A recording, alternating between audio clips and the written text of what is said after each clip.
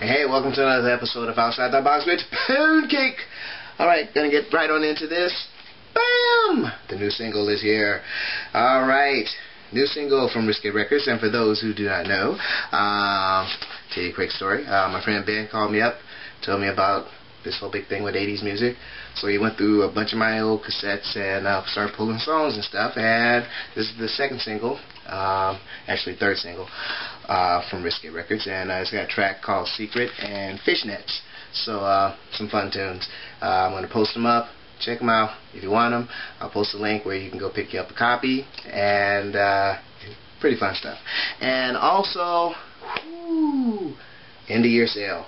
November, December, getting rid of everything picked up over the year, making room for the new year. So, uh, everything's 99 cents.